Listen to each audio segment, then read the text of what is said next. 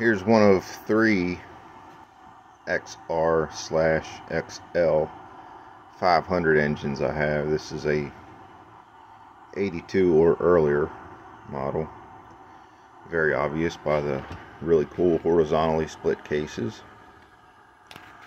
This one was pretty damn grungy, so I'm gonna use some diesel fuel and clean her up. And I don't think I'll be using this bottom end, or at least this case for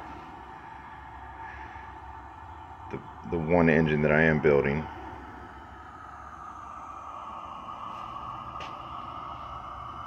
Trying to get this piston out of this one. It was stuck so bad I couldn't even get it out, so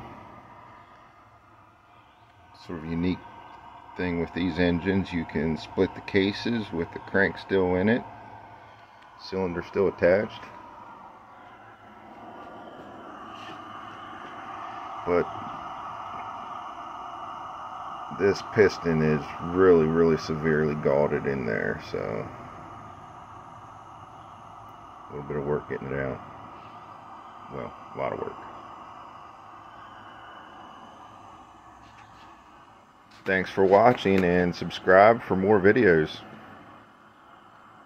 Thank you